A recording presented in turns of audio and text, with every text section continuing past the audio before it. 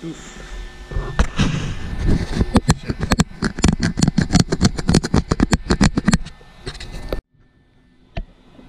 guys, so this is how the weld turned out.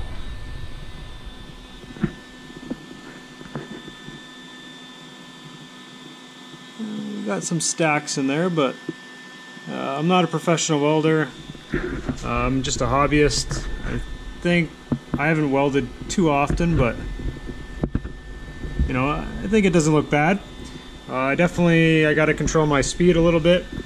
I think I uh, waited too long over here because it's more built up. Got a little bit better by the time we got to the back, but uh, I think I got to control my speed. I got to go a little bit faster. I think uh, it's built up pretty good, so you know I'm gonna end up grinding anyways, so not too worried. But uh, it doesn't look too bad. I'm gonna flip it over and do the other side. So uh, here's the second side. Um, I think it's a lot sloppier in my personal opinion. I got some holes and stuff. I think I maybe I rushed it a little bit too much, uh, considering um, I needed to go faster on the other one. I think. Uh, yeah, my line's not too straight, but you know, I'm not. I'm just a hobbyist or a welder. It's not. I don't do this for a living, so. I'm not going to be too critical about my work, but like I always say, uh, never stop learning. So uh, the only way to get better is uh, keep welding. So I know I got quite a bit of splatter. It's probably due to maybe my heat setting or my speed. Uh, maybe somebody else can uh, let me know. And maybe I raise it up a little bit too too high from the surface. Uh, I'm learning. I would like to, if anybody's got any tips and tricks on how to do it better, or think I can do better, let me know.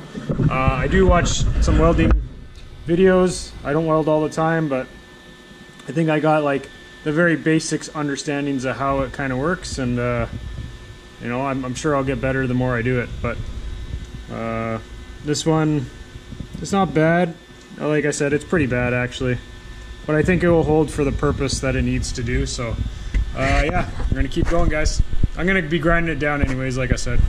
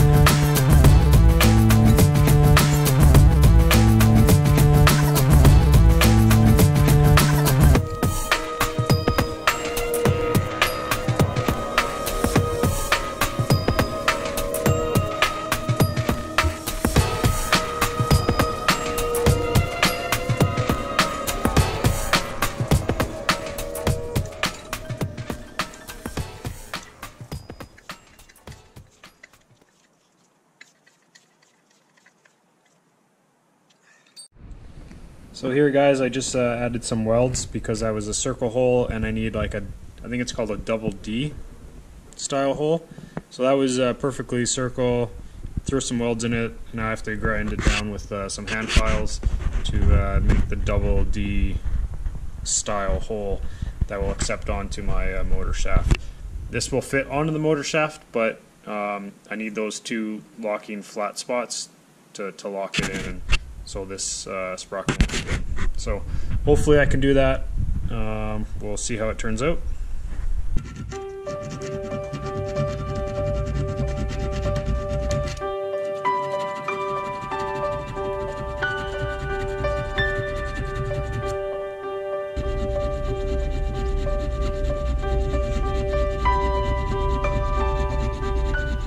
Okay guys, after some filing, uh, it didn't turn out too bad. I don't know if you can see it, but um, the D is there, double D, I should say.